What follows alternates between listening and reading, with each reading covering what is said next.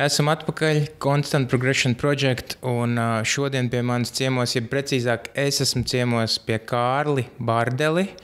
Un, um, Kārlis ir ļoti īpašs viesis. Um, es tev sekoju līdzi jau kaut kādus, nu, gandrīz divus mēnešus. Un, um, Kārls ir izdarījis kaut ko, ko daudz cilvēku pat droši vien sapņos neredz. Pārbraucis Atlantijas okeānu, pārbraucis pāri Austrālijai ar velosipēdu, pareizi. Dienvidamerikai. Dienvidamerikai jau sajauc. okay, un uh, Atlantijas okeānam kopā ar Gintu jā, divatā. Jā. Tas bija pirms vairākiem gadiem. Un tagad pēdējais tavs piedzīvojums bija Klusais okeāns, viens pats airu laivā pārairēja pār, pāri. Jā. Jā, varbūt tās tu vari tādu ieskicēt mums nedaudz. Um, kā tev tas viss sākās, kā tu nonāci līdz tam, ka tu izdomāji, ka, uh, ka tu gribi meklēt tādus piedzīvojumus, kā tu tagad dari jau kaut kādu laiku? Nu, kā tas viss sākās? Sākās uh, 85. gadā, kad es piedzimu. Bet uh, nu, ar tiem piedzīvojumiem vienmēr ir viņi kaut kur bijuši riņķī apkārt, kaut kādi lielāki, mazāki. Un, uh, un, uh, jā, nu es. Uh, sanāk, tagad tas Board of Borders projekts ir uh, septiņus gadus uh, jau no 2013. gada. Un, um, Bet nu, tas, tas sākums, nezinu, cik, cik gari, cik dziļi mēs tam vēsturē varam skatīties. Bet nu, viens iespējams tāds, jebkurā gadījumā būtisks, tas pagrieziena moments bija mm, kaut kādā nemaldos, 11. gadā, 2011. ja es tā atceros pareizi, vai 12. es jau arī neatceros tik precīzi. Es aizbraucu uz tādu starptautisku alpīnistu semināru, kas bija Skotijā, un uh, es no 2005. gada tā no, nu, diezgan nopietni aizrāvos ar alpīnismu.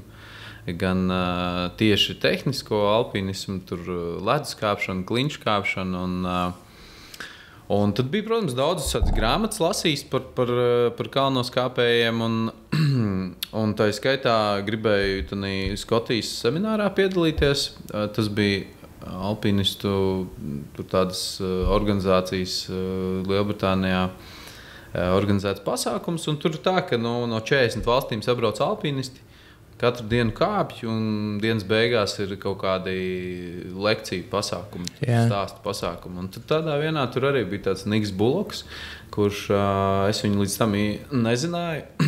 un, uh, viņš vienkārši stāstīja savu dzīves stāstu, kā, ko viņš dara.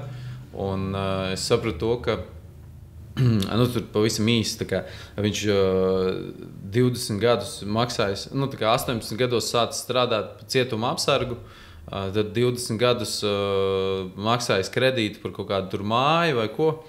Un tad, tā, kad viņam 38 bija, viņš nomaksājis beidzot to kredītu. Nākamā dienā aizgājis no darba, tad viņa cietumā un izīrējis to māju. Un tad pats dzīvo busiņā un vienkārši pilnu laiku kāpējis. Uh, un tad nu, viņš stāsta vienkārši par savu dzīvi, ko viņš dara un kā. Un es tam auditorijā tur sēžu klausos. Un man šķiet, ka Tā ir nu, tā, tā pasaka, par ko es tur esmu lasījis grāmatās. Viņa ir pārvērtusies realitātē, un tad, kad tu īsti dzīvē satiec tādā klātienē tādu cilvēku, tad daudz kaut kā uzskatāmāk.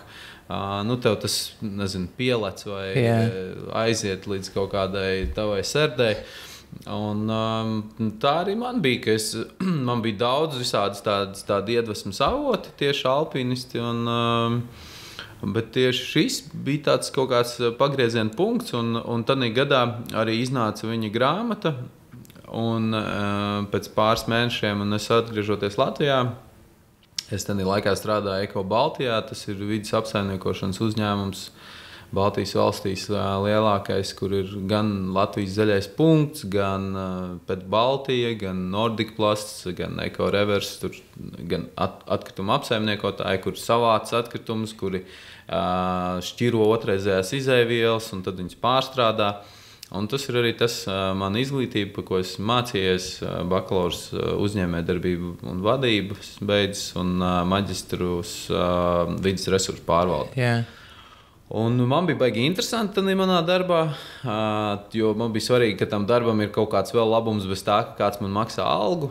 Tad tā apkārtējās vidas sakārtošana man bija tāds motivators tam visam, ka tam ir tiešām kaut kāda jēga, pievienotā vērtība.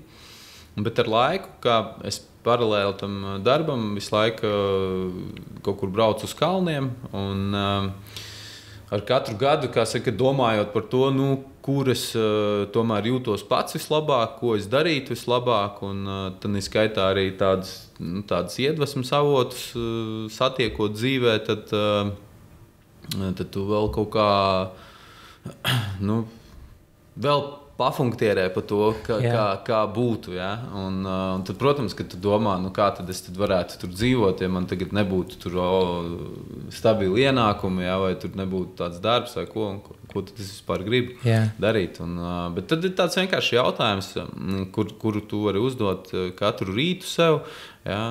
vai es jūtos laimīgs. Pavisam vienkārši jautājums, bet cilvēki varbūt par to aizmirst. Un tad man tas tā arī bija, ka es vienkārši atbildot sev uz jautājumu, kuras gribētu būt. Jā. Es atbildēju, ka es gribu būt piedzīvojumā. Un, un es, man jau bija, protams, visādas idejas par to, ko es gribētu īstenot.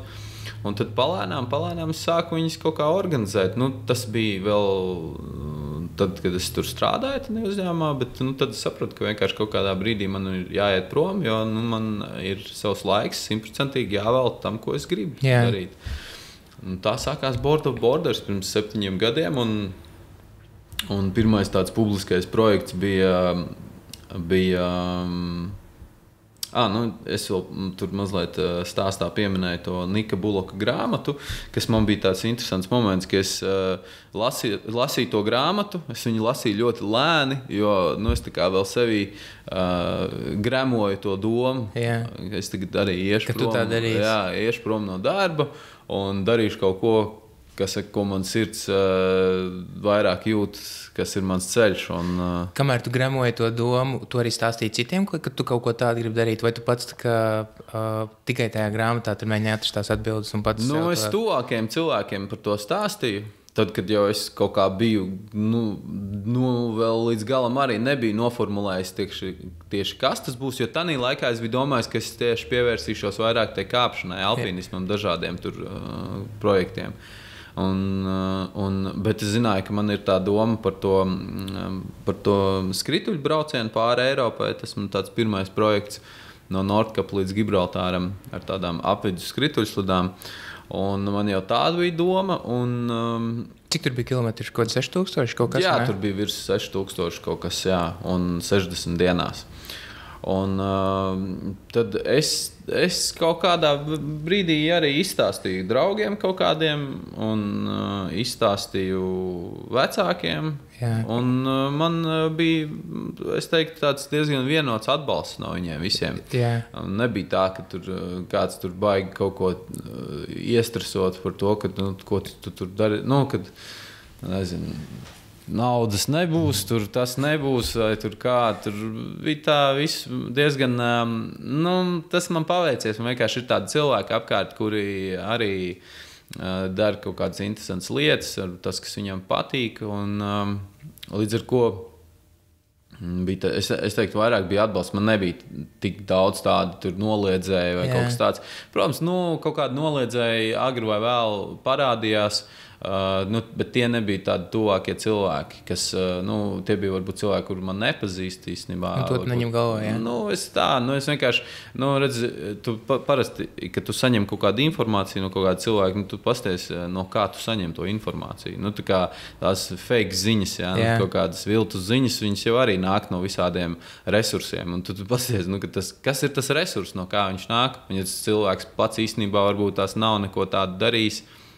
Nu, tad skaidrs, nu, piemēram, kritizēt uh, airu laivas ekspedīciju pāri okeānam, jo tas ir bīstami. Yeah. Uh, nu, uz kādas informācijas bāzes viņš šo apgalvojumu izsaka? Jā, vienkārši uz, uz impulsu tajā brīdī. Nu, kaut kāda impulsa, jā, vienkārši uz kaut ko, uz viņa dzīves pieredzi, kas varbūt tās, ko uz savām bailēm droši vien tajā brīdī. Noteikti. Un, un tad es saprotu, nu, ka man, man pat nav jēgas tur diskutēt ar tādiem jā. cilvēkiem. Nu, tā viņiem ir savs viedoklis, katram ir tiesības savu viedokli, un lai viņš tāds ir. Bet, uh, man ir savs fokus, un es turpinu. Un, un, Nu, tā tas sākās. Un, un tad tie piedzīvojumi viņi sekoja viens otram. Tur, piemēram, tas uh, skrituļu brauciens pāri Eiropai. Jau tā piedzīvojuma laikā man viens no atbalstītājiem, kuru, kurš atbalstīja to skrituļu braucienu, mm -hmm. uh, viņš, viņiem bija tāds plāns braukt uz Sočiem ar divriteņiem. Tas tajā laikā bija uh, Radisson Blue viesnīca. Viņi atbalstīja, viņiem bija tāda velo komanda, mm -hmm. un uh, viņiem bija tā doma braukt uz Sočiem ar riteņiem.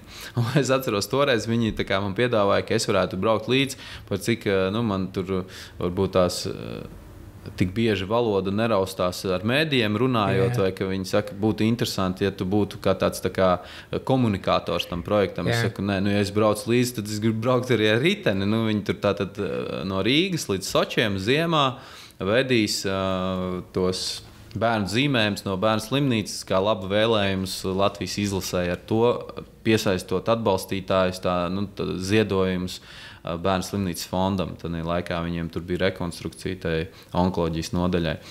Un, protams, es uh, biju par un domāju, tagad, ka nākamais projekts, kas saka, tādi ļoti dabiski viņš uh, turpina. Nu, jā, tas pirmais noslēdzās, nākamais atkal jau ir. Ka, ko organizēt, un, un viss tas tādā ķēdītē aizgāja. Tad, tad nākamais atkal bija pēc tiem sočiem. Tas bija tāds kaut kāda, es neatceros tos kilometrus tagad precīzi, bet tie bija, tie bija kaut kādi divas nedēļas. Mēs laikam divas pusnedēļas mēs braucām, un tad katru dienu tur vidēji ap 170 km dienā. Nu, tas bija tāds labs kāpājums gabals. Tāds, jā. Nu, tur bija tā, ka normāli. Mēs arī tur pastījāmies, kādas tur zemākās temperatūras vidējās, ka tur būs kaut kādi mīnus 9 grādi nu, tā vidēji. Yeah. Tad, kad tur ieslēdzās Ukrajinā, tur kaut kāda uh, mīnus 25, yeah. tad bija ļoti jautri. un, uh, nu, tur, tur bija tas fun, ka mēs ritīgi vienkārši atradām, kā to pārvērst par. Uh, nu, ka tu vienkārši uzregulē sevi uz tādu viļņu, ka kā, ir jebkuru problēmu vai jautājumu ja, var pārvērst par eh, nu, kā, vienkārši, nu, piemēram, braukt mīnus 20 grādos, liela jautājuma zīme. Yeah. Tāpēc braukt minus 20 grādos, liela izsaukuma zīme. Ja? Yeah. Tā kā hey, braukt 20, minus 20 grādos. Kā, yeah! kā kurš skatās? Ja, nu, tieši tā, un tad, uh, un tad mēs kā, viņu vienmēr mēģinājām pārvērst tādā fanu, lai tas ir ritīgi tā izbaudīt varētu to pasākumu. Un tāds arī notikās. Nu, mēs vienkārši kaut kā tādā. Nu, viss jau tādā galvā, protams, kā jau daudzi saka, ja, un uh, mēs arī kaut kā tā noskaņojāmies. Vienkārši tas, tas jautājums ir tajā, ka. Labi, visi apzinās, ka viss ir galvā, yeah. bet tā praktiskā lieta, kā tas notiek, kā tu to nomenedžē, nu tad tur kaut, kā, kaut kas notiek tajā momentā. Ja, ja, un viss tā, ah, viss ir galvā, un tā kā, ah, pēkšņi, pēkšņi, vie, pēkšņi viss paliek viegli. Nu, tā nav. Jā. Ja, neviens nav tāds robots, un tad, tad tāpat tām ir kaut kāda izaicinājuma. Bet um, nu, vairāk un vairāk, kad tu esi tādās situācijās, tas tev kaut kā norūda, un arī man tas kaut kā ir palīdzējis gan tiem visiem lieliem projektiem pēc tam vēlāk. Un tā arī tas bija, ka te, pēc tā Soču brauciena tad sekoja atkal nākamais. Tad bija, tad bija um, brauciens, uh, tad bija tāds piedzīvojums, kurus bija plānojis no Krievijas, Somijas robežas pa polārā loka līniju, pāriet pāri ar slēpēm ziemā.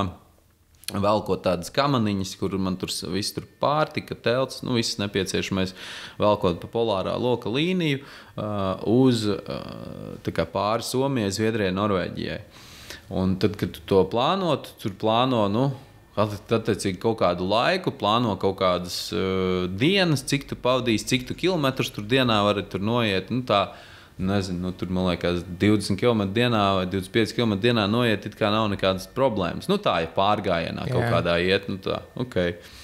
Un tā mēs arī plānojām ar to vienu manu draugu.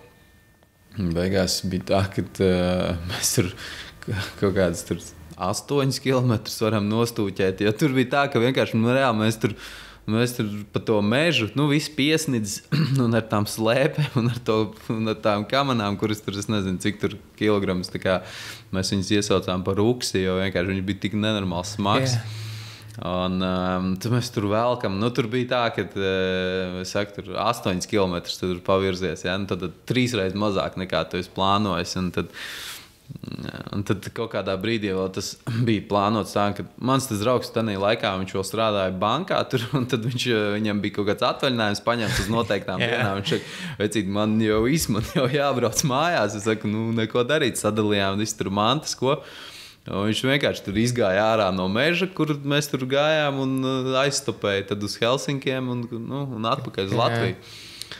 Un es turpināju viens, un tad beigās eh, sanāca tā, ka nu, viss tas izvilkās eh, to laiku, ko es varēju tur eh, bija paredzējis. Tad man sanāca tā Somijai tikai pāriet pāri. Bet tāpat bija rītīgi interesanti. Visā vis kaut kādas lietas notikās. Tur tādā skaitā arī, piemēram, kaut kādās vietās sniegs bija nokusis, kur viņam vēl vajadzēja būt. Un tad nācās uzbūvēt tādus ratiņus, kur, uz kuriem stumt to ruksi, un pēc tam atkal bija sniegs, un tad jā, bija atkal jāmet riņķī. Yeah bukses jāvelk un, un, un, un ratiņi virsū. Nu, tur interesanti. Un pēc tam Un pēc tam, pēc tā piedzīvojuma, arī uzreiz kaut kā tas uh, saslēdzās, ka man kaut kāds viens draugs arī teica, nu, tad uh, jūs uz Sočiem braucāt, nu, tad tu jau zini, kur nākamā olimpiāda ir. Arī tagad brauks. Es saku, jā, kur ir nākamā olimpiāda? Nu, ir Rio. Yeah. Es tā, ah, nu jā, brauksim. nu, Nu, tad nākamā olimpiāda Rio, un tad kā tu tur nokļūt. Tā arī viss tad, tad, tad panesās ar to laivu no Āfrikas līdz Brazīlijai. Yeah. Uh, tas arī bija tāds brauciens. Nu, kā, e, Cilvēki citreiz domā, tur, ah, nu, viņš tur, tur droši vien kaut kāds burātājs vai ērētājs. Es vispār, nu tā, es, jā, es esmu bērnībā tur ba basīt spēlējis, jā, bet uh, es neesmu nekāds atlēts. Yeah. Nu, uh, tāda vienkārši parasts oficiāls čalis, uh, kuram varbūt tāds kuram pat, apnika oficiālā. Nu, jā, nu, kuram apnika oficiālā, kurš vienkārši izdomāja, ka tās prioritātes viņam dzīvē ir uh, kaut kas cits. Jā. Un, uh, man, jā. man patīk, kā tu teici. Um, Kaut kādu laiku atpakaļ te prasīja par to, ka iziešana no komforta zonas, un tu teici, ka tava komforta zona ir būt piedzīvojumā. Mm. Un tas man likās rītīgi, tā, nu, rītīgi spēcīgi. Man vēl slēdzās kopā ne tāds piedzīvojums, kā braukt ar riteni vai braukt ar skrituļslidām, bet tad, kad es sāku domāt, nu, kaut kādu laivu atklātos ūdeņos, tur vējš, tur kas tikai tur nav. Tad man vairāk viss tur, tur pazuda tā bilde. Nu, tur, nu, es arī sapratu, sapratu tos cilvēkus, droši vien, kas, kas varbūt tev tajā brīdī kaut ko rakstīja un, un noliedz to ideju, jo nu, tas ir bailīgi. Un, nu, man, piemēram, es par to domāju, man, man paliek bail. tā. Mm. Un, Pastāstiet, varbūt tās, kā sākās tas gatavošanās posms, nu, tieši tam, tam braucienam ar to laivu. Sanāk, tu tagad divas reizes gatavojies. Pirmo reizi tu brauc divi tā, vai ne? Mm. Um, kā kaut ko tādu, tev ir mērķis, mm. tev, ir, tev ir skaidrs, ko tu gribi izdarīt. No kur gala tu sāki, kā tas viss, kā tu sagatavojies, kā jūs abi kopā sagatavojāties? Nu, man tas sākās tā, ka es. Uh visādas, eh, visādas grāmatas, eh, kā iepriekš stāstīju par alpīnismu, tur bija, bija lasījis, un eh, tā skaitā arī nu, par dažādiem citiem piedzīvojumiem. Un, un tur arī bija kaut kāds stāsts par tiem, par tiem okeāna airēšanas kaut kādām ekspedīcijām. Uh, Un tad es sāku googlēt, vienkārši, nu, kā, ja cilvēkiem saka, ka es sāku no pilnīgas nulles, jā. tad cilvēkiem nav saprotams. Viņi tā, nu jā, no pilnīgas nulles. Es saku, nē, es atvēru Google un jā. ierakstīju How to row an ocean. Jā. Nu, no tādas nulles, jo es nesaku, neesmu ne burātais, ne, ne navigācijas, vispār neko nerūpīju. Un, uh, un es uh, sāku nu, tātad, uh, saprast. Uh, kādu laivu vajag, yeah. kā, kādu aprīkojumu tur vajag, kā, kādus, zi, kādas zināšanas vajag. Un tad te mēģināju saprast, nu, Latvijā ir kaut kādi burātāji, kas ir tur pāri okeāniem airējuši. Nu, tad satikāmies ar viņiem, tur izrunājām, ko, ko. Protams, viņi atkal no savu, savas puses arī. Nu, Viņiem liekas, tas arī ir traki. Nu, kā, jo viņi paļaujas, ka tas vējš būs un tur tā noiet, tās nu, tā jūdzes dienā ir nu, trīs reizes vairāk, ja ne pat četras reizes vairāk kā, kā, kā laivai, airu laivai. Ja? Jā. Uh, bet tādā pat laikā, atkal, nu, tu tur ir fokus, tu skaidri zini, ko tu gribi darīt. Kaut arī tu nezini, kā to darīt, bet tu zini, ko tu gribi darīt. Un tad vienkārši palēnām pa puzles gabaliņam tu liec kopā to visu mozaīku. Un, um, Un tā arī bija. Nu, aizgāju šeit, Latvijā, uz uh, jūras koledžu, kur, kur mācās uh, ievadu navigācijā, ievadu saziņai ar kuģiem, ievadu saistībā ar visādi drošības aprīkojumu, kas Jā. ir vajadzīgs. Jā. Un tā, nu, tā pa gabaliņam vāc kopā. Tā skaitā arī visus tur uh, sponsorus, atbalstītājus, budžetu. Tu saproti, cik tev vajadzēs loģistikā, kādu pārtiku tev vajadzēs. Un, un, uh, nu, Es, man tas pieejams tāds, ka es uh, neprasu kaut kādām kompānijām tur uh, nenormālos tūkstošus. Tādā ziņā, ka nu, Latvijā nav daudz tādas kompānijas, kas tur baig, baigos tādas sponsoru dīlus varētu atļauties. Ja? Jā. Ir varbūt tās kompānijai vieglāk iedot tev 500 eiro. Vienkārši tev ir ja vajadzīgi daudz vairāk tās kompānijas. Jā. Ja? Tad, bet, nu, tas ir kaut kāds laiks, tev, tā, bet no vienas puses, nu, tā kā vai nu tu nedabūni nu, neko, vai nu tu savāc pa mazumiņam. Ja? Nu, tā, tā, tāda man arī tā pieeja ir bijusi vienmēr. Un, un, protams, vienmēr vieglāk ir savākt tur attiecīgi produktus un pakalpojumus, un pēc tam nākamais ir jau finansiāls atbalsts, nu, kas tīri teiksim, tas uzņēmums varbūt neražo vai nu, neveic nekādus pakalpojumus, ko man vajadzētu. Yeah. Ja? Piemēram, uzņēmums, kas tur kaut kādus uh, apkurss katlus, piemēram, tirgo. Ja? Nu, man nevajag apkurss katlu, man arī nedara nekas no viņa pakalpojumiem, ja? bet viņiem ir tāds uh, piemēram, viens konkrēts uzņēmums, ja? tieši SB siltumtehnika. Ja? Es, es ar viņu vadītāju šobrīd jau ļoti labi pazīstams esmu. Viņš vienkārši arī kaislīgs ceļotājs. Un, uh, viņš tā manu to, to vīziju saprata, noticēja, ka es to varētu izdarīt. Uh, un, un kaut kā nu, sāk, sāk atbalstīt. Ja? Bet, protams, tas nebija tā, ka uh, nu, tu neaizēji tādā basā vietā. Nu, es domāju, to tādā ziņā, ka uh, nu, tu, tev jau ir kaut kādas lietas, ko tu dzīvē esi izdarījis. Ja? Nu, man tie bija tie kalnu kāpieni, ja, ko, jā, ko es varu parādīt. Jā. Nu, re, kur ir kaut kas. Jā. Jo, jo, nu, tas varbūt tas arī, ja kāds klausās šo, šo stāstu, ja, tad nu, tas nav tā, ka vienkārši tu PowerPointā uztaisīji prezentāciju un tā kā dod naudu. Jā. Jā, nu, tas tā nenotiek. Nu, kā, nu, tev ir jā, jāiedod kaut kāda ticība tam, ka tu to izdarīsi. Nu, nu, tev, vienalga... tev pašam sev jānotic tajā brīdī, ir, un tad, kad tu ej pie tām kompānijām, nu, es, piemēram, es, es domāju no to, to kompāniju puses, nedomāju, viņiem arī risks tomēr ir. Ja viņi kaut ko tādu atbalsta, un ja arī tu sev tici, tad viņiem ar tevi jānotic. Ir, jo, mm -hmm. jo viņi negrib arī, lai ar tevi kaut kas slikts notiek. Ja es noeju pa burbuli, jā. tad viņi ir BBC vienkārši.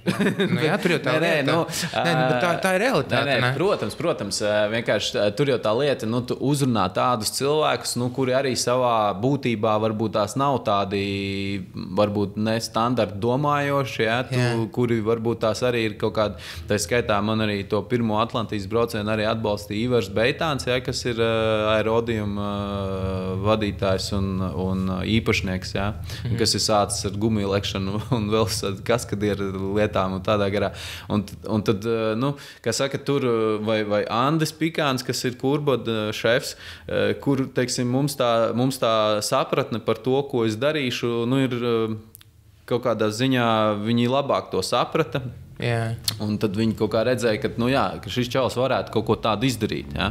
Un ziepes tur varbūt tās nesavārīt. Bet, protams, jā, protams, ka risks pastāv. Bet, bet tas, ko es vēlreiz gribu uzsvērt, ka uh, cilvēki, kuri varbūt tās arī ir iedomājušies, nu, viņiem ir vienalga kaut kāds plāns, kaut kādā jebkurā jomā. Bet šī gadījumā es tieši runāju par to konkrēti kaut kādiem, tur, kas tā kā tādus piedzīvojumus realizē. Jā. Jā. Uh, nu, vienalga, tu gribi budžetu savākt. Ja? Tu gribi kaut kādu nenormālu projektu tur īstenot. Sameklē lietas, kuras tu vari darīt bez naudas, vai arī naudu, vai arī ar naudu, kas tev ir. Tev ir 200 eiro, yeah. un ko tu vari izdarīt? Un tu uztaisīji tripu par 200 eiro. Ja? Dzīvo bombzī, mauca rīčuku piecas reizes apkārt Latvijai. Jā. Nu, foršs stāstījis. Nu, tev ir saturs, tev ir video, tev ir bildes, tev, tev ir kaut kāda pieredze. Nu, reāli tu esi kaut ko izdarījis. Jā. Kādu naudu tur vajag? Nu, nekādu naudu. Nu, tu pa, pa, pa, vienkārši nu, tur to visu var izdarīt pa, pa, pa kabatas naudu kaut kādu. Ja? Vienalga kāds ritenis, vienalga kāds aprīkojums, vienkārši bliezi. Un tad uh, uz tās bāzes aizēja, rekur, rekur šito es izdarīju. Bez nekā. Yeah. Nu, tagad iedodiet man 300 eiro, ja? un es tagad gribu Baltijas valstīm piesreiz apbraukt. Nu, yeah. vienalga, nu, saprot. Un man jau arī tie projekti, viņi jau, nu, kā saka, pēc. Uh, laika tu ej nākamo soli, kaut kādi lielāki paliek, lielāks budžets paliek, un tā tas viss kaut kā aug. Yeah. Līdz ar to. Nu, Tā es to sāku. Un, uh, tāpēc es to gribu pateikt. Es neesmu nekāds tur uh, miljonāru atvase vai kaut kas tamlīdzīgs. Yeah. Man reāli nav naudas. Man nav nekam naudas. Yeah. Uh, es vienkārši tā sāku vākt no vienkārši pa desmitniekam, pa piečukam. Jā, nu, jā. tā. Nu, jā, tāpēc, ka tu, tu to gribēji, un tāpēc tu to arī izdarīji. Nu, tie cilvēki, kas varbūt tās saka, ka viņiem vajag naudu, lai kaut ko tādu darītu, nu, viņi nebūs gatavi braukt apkārtēji Latvijā, jo viņi vienkārši domā, ka nu, tas ir iemesls to nedarīt. Ja man nav naudas, to var nedarīt. Ne? Bet, ja man kāds iedod, es to darītu. Nu, protams, ja, ja mums kaut ko kāds iedod, mēs jā. daudz ko darītu. Nu, redz, tur jau tā lieta, ja kāds tev kaut ko iedod vienkārši tāpat, tu, tu pirmkārt to nenovērtē. Un, uh, un tas tā ir, ka, ka cilvēki, cik daudz ir visādi bezmaksas kursi, ja, kurus cilvēki it kā varbūt tās piesakās un beigās nelieto vai nezinu, tur eh, nepabeidz tikai. Viņiem nav, nu kā, tas nav, nav bijis līdz galam tas, ko viņi patiesībā ir gribējuši. Nu, ir tādi, es esmu arī citreiz runājis, man citreiz pat kaut kādi uzrunājuši tādu, un mēs gribam tur ar ričakiem tur braukt arī. Man tur kaut kādi jaunieši uzrunāja. Es labprāt satikos, tur mēs kaut kādu laiku tam veltījām, ja, viņi yeah. tur parunājām. Es kaut kā beigās tā arī neredzēju, neko, ko viņi būtu izdarījuši. Yeah. Nu, kā, ja tur, tur bija tas stāstījums, nu jā, mēs nezinām, kā tur ko. Es saku, pa pilnīgi vienalga, kādu rīčuku vienkārši ņem rīčuku. Ir tas, tas saits Warm Showers, yeah. kas ir līdzīgi kā couchsurfing, nu, kas ir attiecīgi Tu vari palikt pie cilvēkiem, kuri ir reģistrējušies mājaslapā, Jā. kuri aicina pie sevis palikt bez maksas, dzīvot. Citreiz, Tādiem cilvēkiem, kam patīk ceļot. Kas ne? tieši patīk ceļot, jā. Un, un Warm Showers tieši ir speciāli tiem riteņbraucējiem. Un, attiecīgi, tevi uzņems kā brāli, jā, citreiz pat ēst iedos. Jā. Jā. Attiecīgi, nu, vienkārši, nu, kas tev ir vajadzīgs? Nu, nekas vienkārši brauc, vienkārši dari kaut ko. Jā, jo, jo, un, un, un tad tur arī, tad, kad mēs jau toreiz tikāmies tiem jauniešiem, tur arī bija tā viens bija tāds, ka vairāk tā tāds entuziastisks, otrs bezmazliet tur. Nu, jā, nu, tad, nu, tad visu laiku kaut kādas šaubas, visu laiku kaut kādas šaubas, bailes, un tur nu, es ne, nesaprotu. Tāpēc yeah. vajadzētu tāda, tādām lietām būt, ja tu kaut ko no sirds tiešām gribi darīt. Nu, labi, tagad, tagad ejam atpakaļ uz to posmu, kad uh, tu izbrauc, tu izbrauc ar Gintu kopā pāri Atlantijas okeānam, mm. un tev mērķis ir apceļot visu pasauli pašam saviem spēkiem, mm. nu, bez, bez nekādām tur motorizētām ierīcēm. Jā, un bez burām. Un tad, tad nākošais posms ir klusais okeāns, kas, kas principā ir. Mm. Nu, nu, vēl pa vidu Dienvidamerika, jo attiecīgi tā, tad, tas, tā definīcija, tā angliski tas saucās Human Powered Circumnavigation. Mm -hmm. Tas nozīmē, ka pilna riņķa veikšana apkārt zemeslodei, gan pa sauszemi, gan pa ūdeni, visos Jā. punktos. Attiecīgi, tu sāc vienā punktā, un tu atgriezies tajā pašā punktā, un pa, pa ceļam tu esi apriņķojis zemeslodi. Plus, tur vēl, man liekas, pat kaut kādi bija nosacījumi. Nu, ka tev ir laikam, jāšķērso ekvators, un tad tev ir, jā, nu, protams, tev ir jāšķērso visas meridiāna, visi platuma, teiksim, visi garuma grādi, visas zonas jāšķērso. Kas tur vēl bija tāds, ka, à, ka tev ir jānokļūst uh, pretējos polpunktos. Nu, teksim, visiem skaidrs, Ziemeļpols yeah. pret Dienvidpolu pretēji. Yeah. Tad tev ir jānokļūst tādos divos punktos uz zemeslodes. Mm -hmm. Un, um, Nu, tas tā, bet attiecīgi tu atgriezies tajā pašā punktā. Tad 2016. gadā ar Gintu mēs pārējām no Namībijas uz Brazīliju. Tad no tā paša punkta Brazīlijā, kur mēs finišējām, ar uh, Lindu. Mēs uh, tandēm velo pārmināmies pāri no Brazīlijas uz Peru. Tad uh, tas bija sākām 18. gada janvārī, un, un maijā mēs bijām Limā. Un tad uh, jūlijā 2018. gadā es sāku uh, solo ar to aeru laivu, to Jā. pašu, ko airēju Atlantijas okeānā, Jā. tā pati tika pārsūtīta pāri no Brazīlijas uz Peru. Jā. Un ar to pašu, kā saka, laivu, tad uh, jā, turpināja, turpināja to ceļu apkārt zemeslodē. Un tagad sanāk, ir, ka ir veikti divas trešdaļas no tā. Un, un tad klusiem okeānam pāri bija kaut kur vairāk kā 26,000 km. Mm -hmm. Kā, kāda tev pašam bija tā atšķirība? Nu, tomēr tas pirmkārt lielāks gabals, vai ne? Otrkārt, tu to dari viens pats. Nu, um, tad, kad tu to darīji ar Gintu, nu, es, es, es pieļauju, es nezinu, kā tas ir, ne, bet es pieļauju, ka ir kaut kādi brīži, kad viens, ir, viens varbūt tās tur paguris, tur jau otrs, un tad tomēr ir tas atbalsta plecs, un ne, tu pavalc viņu uz augšu, viņš pavalk tevi un tā. Mm. Bet, kad tu pārēji uz, nu, uz viens pats, kā, un vēl uz lielāku posmu, kā tev bija tas, tas nu, kā tu sagramoji to vispār? Nu, tā, Sākotnēji vai Ja tādā sāk- tā- tajā, braucienā? tā klusā okeāna tajā ceļojumā, jā, mm. kā, tu, kā tu sākotnēji vispār Sākot- izdomāji, ka tu jā. to gribi viens pats darīt? Uh, nu, tas tā diezgan uh, praktiski notika, jo bija plānots, ka mēs divi tā ar Lindu turpinām arī pa to kluso okeānu. Bet tad, kad mēs bijām pārbraukuši pāri ar divteni tam uh, Dienvidamerikai, viņi saprata, ka nu, tā gluži nav tā dzīve, kādu viņi ir iedomājušies un kā viņi gribētu ceļot un Jā. kā viņi gribētu dzīvot. Viņa gribēja studēt tajā brīdī, un viņa teica, ka viņa brauks atpakaļ uz Latviju. Jā. Un, un es kaut kādā brīdī jau īstenībā mums bija Latvijā kaut kāda saruna, uh, ne gluži šāda, bet uh, ka es kaut kā, kā sāku aizdomāties par to, kas notiks brīdī, ja viņa tomēr neairētu ar mani to kluso okeānu, vai es būtu gatavs viens to darīt. Nu, jā. Un es jau sev tad jau atbildēju pats priekš sevis uz to jautājumu. Ka es vienkārši turpinātu viens, jo nu, tā Atlantijas pieredze man parādīja to, ka es to varētu darīt Jā. viens. Un es uz viņu vienkārši, tad, kad es biju Limā, es pat tur baigi kaut kā tā nefilozofēju. Es vienkārši gatavojos, tur vaj- vajadzēja laivu saremontēt, vajadzēja tur visādas tur loģistikas lietas atrisināt un saņemt uh, ekipējumu no un pārtiku un medici, medicīnu, medikamentus no Latvijas. Visu to vajadzēja sakrāmēt laivā un, kā saka, doties ceļā.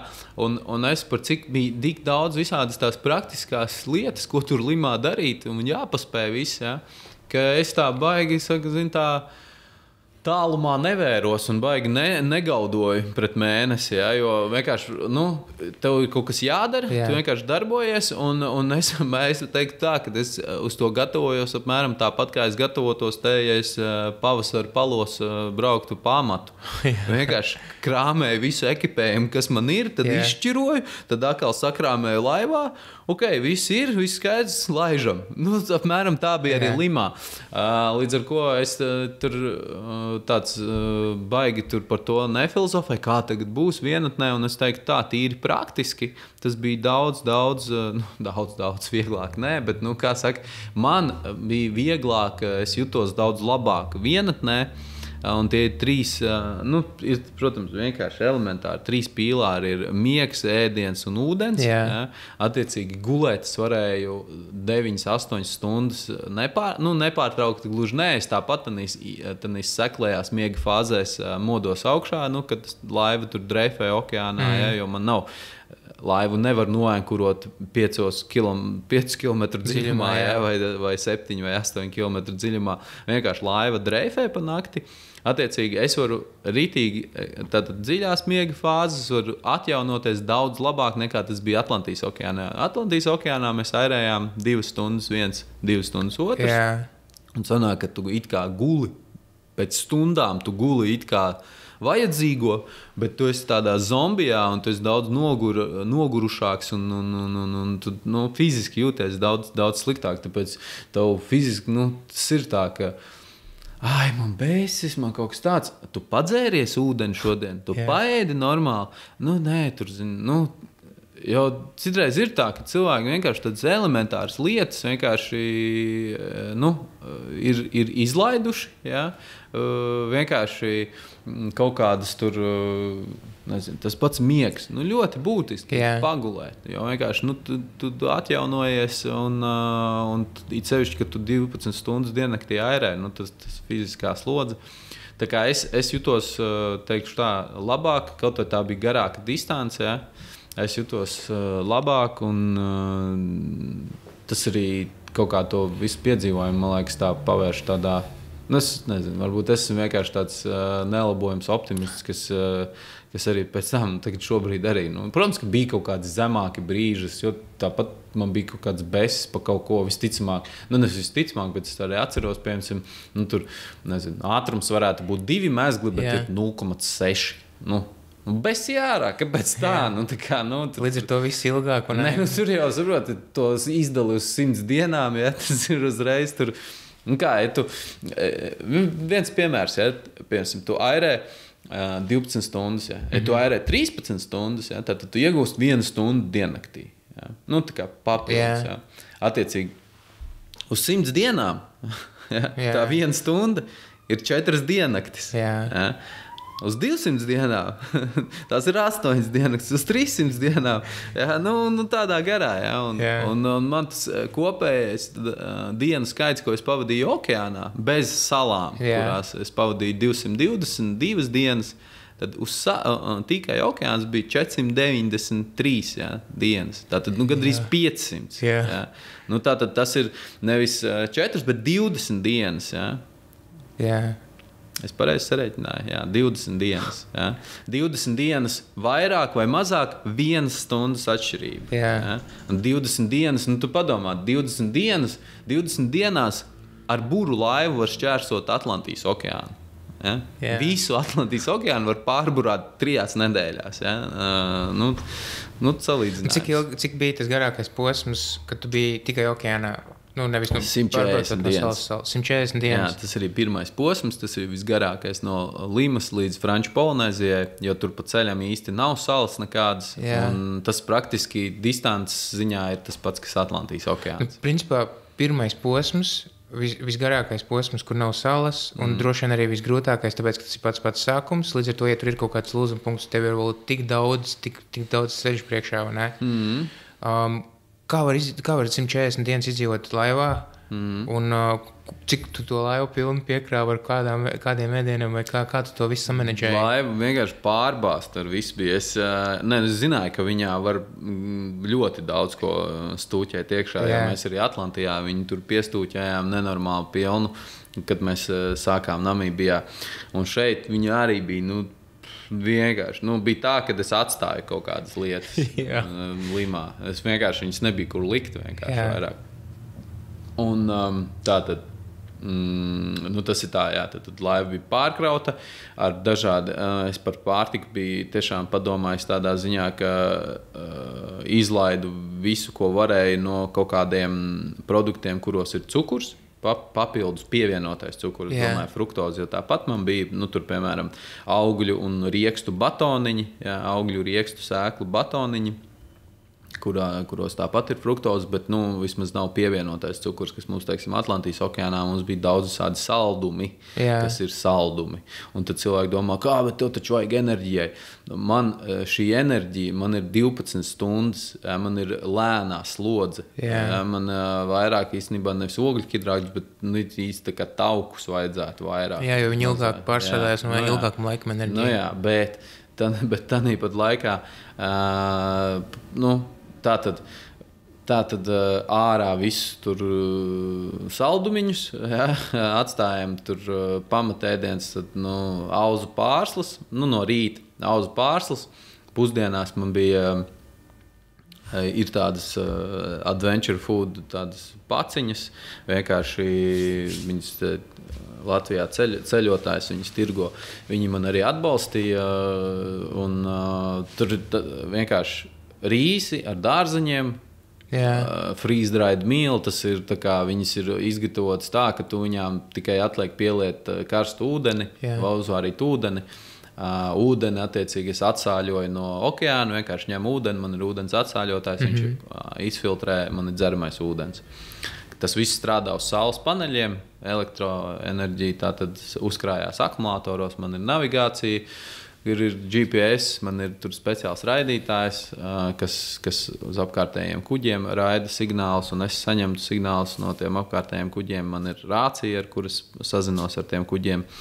Un tā tad izfiltrēju ūdeni, uzvāru uz gāzes prīmusiņu ūdeni, Jā. ielēju tajā pakā, un tur visādas garšvielas, lai kaut kā dažādotu to garšu. Jā. Uh, Plus tur vēl klāt lieku kaut kādus uh, zirņu proteīnu pulveri, tur um, uh, ķirbju sēklu proteīnu pulveri, kaņepju sēklu. Man arī tik kaņepes garšo. Tā, tādas grauzdētas kaņepju sēklas samaltas ar eļļu. Un, uh, un tā, un tad visas tās uh, ēdamās lietas, tās visas, jā, tur laivā pietiekoši daudz, jo bija plānots uz diviem cilvēkiem. Un, un attiecīgi, es paņēmu rītīgi daudz, nu, cik maksimāli visu varēju. Jā. Un uh, man pietika līdz, līdz Malaisijai praktiski tās, tās pamatlietas. Jā. Uz salām es atjaunoju tur svaigos produktus, kaut kādus sīpolus, ķiplokus, uh, greifrūtus, uh, kur varēja avokado, banānus, kokosriekstus, kur nu ko varēja dabūt. Mm. Un, nu, piemēram, sīpola un ķipola glabājās ļoti ilgi arī bez, bez kaut kāda leduskapja, jo uz laivas nav nekāds leduskapis, ir ti- tikai nu, sausā veidā, viņus var tā uzglabāt. Nu, tā. Tā kā, nu, tāda bija pārtika. Es teiktu, ka it kā viss ok, garšīgi arī. Tu zināji, ka tev pietiks tam visam posmam, ne? Jā, nu es tā kā Nebija biju. tā, ka tev bija um, jāērē ātrāk, jātiek līdz tai pirmajai salai ātrāk, jo, tu, jo tev bija uztraukums par to, ka paika var beigties. ar to tur tā ne. ba- baika tur nebeigtos. Līdz pirmajai salai man arī tur sneki, nu, tā kā visādas uzkodas. Man bija nu, tā, pa- nu, man bija ļoti, kā saka, biezā slānī. Ja. Līdz pirmajai salai tur noteikti viņas nebeigtos. Protams, ka ir kaut kādi tādi produkti, ah, tā skaitā, piemēram, man bija rieksti daudz, piemēram, arī Jā. tur mandels, tur uh, balrieksti, nu, visi Indijas rieksti, Jā. visādi rieksti man bija. Uh, un, um, Un uh, tad tā, ah, žāvēta āboli, tur pieņemsim rozīnes, un tā tad es tās pie tās putras tur liku. Bet man nebija uh, satraukums par to, ka tur pirmajā salā varētu kaut kas beigties. Man bija tā, ka tad, kad es biju Indonēzijā, tur bija tāds um, posms, kuru, kuru, kuru es airēju ilgāk nekā es biju domājis, ka es airēšu. Un, uh, un tad sanāca tā, ka man nu, nebija vairāk nekā. Nu, kā, pamatēdienas man bija. Man bija tās auzas, un man bija tās uh, turisma pakas, jā, Jā. tās, kur uh, to speciālo, specifisko ēdienu. Bet tās visas šīs, gan, gan putekļi, gan tās ēdienreizes, viņas ir jāvāra, nu, viņas ir jāgatavo. Nav tā, ka tu vienkārši, o, tagad. Uh, Tu ātri attaisno kaut kādu iepakojumu, ieber sevi un Jā. turpini. Ja? Jā. Uh, un, un tas uh, kaut kādos brīžos ir vajadzīgs, tad, kad tu, piemēram, tur it sevišķi Indonēzijā, tur gar krastu kaut kur tur airē, tur kaut kāda bīstama vieta, tur kaut kādi uh, klintis, kaut kādas kas, tu tur ātri tur kaut kādas batoniņas aprī un, un bliez tālāk. Un tad, um, Klints, tāpēc, ka, lai neuzskrien virsū, un ne, Nu, nu, jā. tev visu laiku ir jā, jāregulē tas, pa kuru, pa kuru ceļu tu Nu, jā, jo, tu, jo tur bija ļoti specifiski. Tur uh, nu, vispār to pasaulē neviens nav airējis to Indonēzijas arhipelāgu tādā virzienā, kā es viņu airēju uz Āziju. Jā. tad, eh, tad vienkārši, kas saka, tev nav no kā pašpikot, ja tur maršrutu vai ko, un tad sanāk, ka tu, ok, pasties kartē, jā, nu, tur zila krāsa, nu tā tad ūdens, un tad jau gan jau ka var airēt, ja. Bet, nu, dabā izrādās visādi savādāk, ir tur paisumi, bēgumi, ir tur uh, straumas, pretstraumas, ir sevišķi salu tūmā, viss tas paliek sarežģītāk. Cilvēki citreiz domā tā, ah, tur jau civilizācija, tur jau forši. Tur čakars lielāks vienkārši tāpēc, ka tu, tu visi paisumi, bēgumi, kā es Jā. teicu, traumas, plus uh, vēl tas, ka ir uh, satiksme. Jo ir uh, ne, nu, gan lielie kuģi, gan vidējie kuģi, gan pavisam maziņie, kuri Jā. vispār tur nekādus noteikumus neievēro. Viņiem ne tur rācijas ir, nekas, ne arī viņi angliski runā. Nu, tie ir tur vietējie zvejnieki, Jā. kaut kādi maziņie. Nu tā, tā, kā, tā kā tas ir uh, būt okeāna vidusdaļā, ir daudz drošāk nekā būt uh, pie salām. Uh, Un, un, un, un tieši tā iemesls pēc, ka tur nav piemēram paisams bēgums, to neietekmē okeāna vidusdaļā. Tu vienkārši bliezi un viss. Tālāk, tā kā tur bija tāds viens moments, ka es uh, jau ilgu laiku man bija beigušies visas, uz, bija beigušās visas uzkodas. Jā. Uh, viss, viss bija norīts, vienkārši bija palikušas tās auzas un tas pamatēdienas. Tad Tad es sāku vienkārši kā uzkodas ēst auzas, sausas. Vienkārši. Nu, tāpēc, ka viņas ātri es varu apēst. Jā. Nu, hop, hop, bija šī ienāca, tur pakožļāt, savus, savus uzlēt, bija šī ūdeni. Tur, ok, nu, bliežam tālāk. Nu, nu, tās arī tur jau sāk iet uz beigām. Kā, nu, tad, tad, eh, tad bija tā, ka es mm, kaut kā lūkojos, kur tā nākamā sala, kur beidzot varētu kaut ko tur uztankoties. Tev nācās kādam no tiem kuģiem vai mazajām laivām skaidrot, ko tu dari. Nu, nebija tāda, kas tev gribēja piedāvāt palīdzību. Nu, redzot tādu mazu laivu. Ļoti daudz gribēja piedāvāt palīdzību. Nu, tas ir pirmais, kas cilvēkiem ienāk prātā, ir sevišķi profesionāļiem, kas ir uh, lielie kuģi. Tur. Jā. Viņi domā, ka tā ir kaut kāda glābšana. Viņi vispār, varbūt tās, ja viņi vispār ierauga viņu pa gabalu, jo mm, nu, ļoti bieži viņi vienkārši neierauga, jo tev, tas ļoti tuvu klāt ūdens virsmai, tur viļņos tevi nemaz neredz. Jā. Bet, tā, kad tev viņi ierauga, viņi pat tā laiva pēc savas izmēra viņi izstāsta kā kuģu glābšanas laiva bez mazliet. Jā. Nu, un tad viņi domā, ka ir kaut kāda avārija vai kas, un tad citreiz viņi nāk tur vai prasa vai ko, un tas saprot, ka viņi grib kaut ko palīdzēt, tas viņus nomierina, ka viss ir kārtībā. Jā. Viss, viss ir čiki. Viss čiki piki, un tur tā, tā kā Tu visu kontrolē. Jā, viss kārtībā. Es te airēju pāri okeānam. Viss kārtībā. Man ir ēdiens, man ir ūdens. Viss. Ir ļoti daudz, ļoti daudz tādas, teiksim, Indonēzijas arhipelāgā. Tur mm, visi tie, tie ļoti daudz tie zvejnieki arī vienkārši. Jā, tur brauc klāt. Nu, tad jau es biju, es biju četrus mēnešus Indonēzijā dzīvoju. Tad man sanāca arī tur apgūt tādas uh, pamatus Indonēzijas, indonēziešu valodā. Tad es viņiem varēju arī izstāstīt, ko es daru. Jo, protams, angliski viņi nerunāja. Un tad es varēju izstāstīt, un tad, uh, viņi, tur, viņi man tur rāda, tur virvi, nu, ka viņi piesies mani, ka viņi var aizvilkt kaut, Jā. kur, nu, tur kaut kādu tur tuvāko ostu vai miestu. Vai, es saku, nē, nē, viss kārtībā, viss čil. Es tepat. Un, kā ar kaut kādiem, nu, es esmu dzirdējis arī tāpatās, un es domāju, ka arī citi cilvēki ir dzirdējuši tāpat par tiem pirātiem. Un, ir kaut kāda, kaut kāda, te- tev ir kaut, kaut ko no tā nācies piedzīvot, vai redzēt, vai, vai sajust, varbūt tās tūmā. Mm. Uh, pirāti ir. Uh, tas nav, tā nav kaut kāda urbānā leģenda. Ja? Viņi ir, ir uh, internetā pat tāda mājaslapa, kur reģistrējās visi tie negadījumi. Ja? Jā. Uh, un, un ir tās vietas parādītas kartē. Nu, man sanāca vienai tādai vietai, kas ir nu, ļoti. Nu, tur tie negadījumi ir arī klasificēti dažādās krāsās, nu, pēc mazliet kā luksafors. Jā. Un tad tā sarkanā ir vis, visbīstamākā. Tur nu nevajadzētu jā. it kā. Un, nu, man tur sanāca diezgan labi izbraukt cauri tieši Malakas tur šaurums, uh, Singapūra. Tur ir tāda vieta, kur. Uh, kas ir nu, viena no pasaulē noslogotākajiem kanāliem, kur vispār uh, kuģi kursē. Un, uh, tad Malakas un Singapūras šaurums. Un, uh, Un tur arī ir ļoti daudz tie negadījumi bijuši reģistrēti un tādā garā. Uh, Kas tiem cilvēkiem interesē? Viņiem interesē nu, kaut kādas materiālās vērtības, ko viņi var ātri uzsist gaisā. teikt, ja? Tur, Nezinu, kaut kāda akumulātora, kaut kāda degviela, kaut kas tāds, ko, kas saka, jebkuram zvejniekam vajadzīgs. Jā, tur, Jā. tā. Uh, tā kā nu, man uz laivas tur īsti kā, nu, nav nu, ko paņemt. Jā, tur, protams, ka ir tāda kutelīga sajūta tad tam zonām airējot cauri. Jā. Jā, bet, tad tā varbūt tas kaut kā katra, varbūt ne katra, bet katra otrā laiva vai kāda tev izskatās aizdomīga jā, vai kaut kā tā. Un, Un tā, nu, nu, gan, gan īstenībā Papua Jangunē arī bija tā, ka es, piemēram, tur, kur es zināju, ka, kad es startēšu, uh, man tie vietējie teica, nu, kad tu startēsi, es neteicu laiku. Jo to man arī citi uh, bija tādi cilvēki, ar kuriem es iepazinos diezgan tuvu, nu, Jā. kur man tā kā tādi draugi Ieteica bija. Viņi arī jā. saka, nu, labāk nesaki, cikos tu startēsi. Jā. Nu, tā Drošāk. drošības- Jā, jā, jo tur, jo tur bija tādi gadījumi. Tur ā, tā vieta, no kurienes es startēju, Madanga, ā, tur ā, ar tām motorlaivām, piemēram, atbrauc.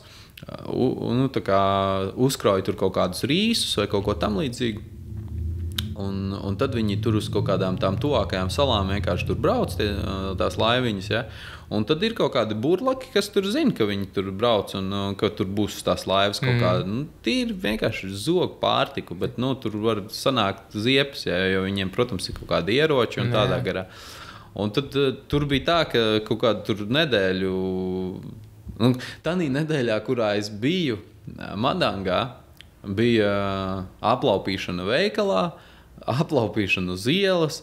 Aplaupīšana jūrā, nu, Jā. tā kā Viss visu, viss, viss spektrs, jā, līdz ar to es tur tā, nu, baigi uh, neizziņoju, kurā datumā es tur Jā. iziešu. Tā kā, nu, kaut kāda piesardzība bija.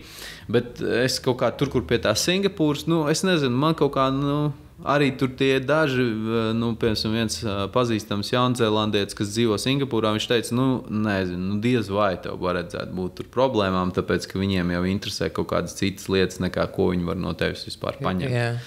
Tā kā tā. Nu, viss veiksmīgi. Bet, protams, ka tad, kad ja tu paskaties vienkārši.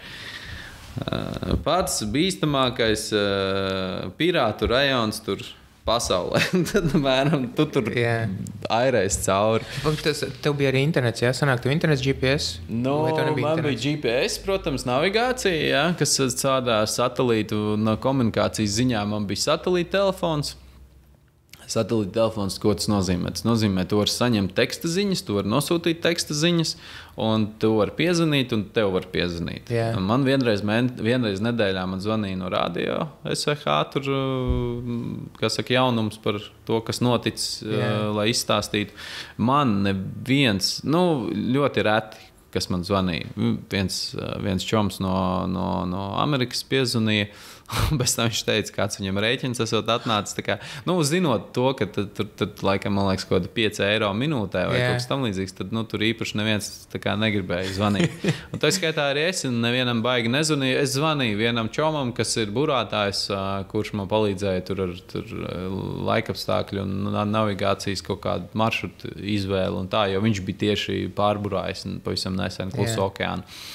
Un tā, bet uh, baigi tāda tā komunikācija viss ir tādām teksta ziņām. Attiecīgi, tev nav internets, jā, nu, tad nav nekādas tur aplikācijas vai nekas tamlīdzīgs. To visu var dabūt, vienkārši tas maksā diezgan dārgi. Jā. Un Tāpēc uh, es, es visu tā kā pēc iespējas minimālāk, uh, pēc iespējas nu, jā, minimālāku budžetu, tad attiecīgi tā tas viss, ka tā komunikācija tāda diezgan.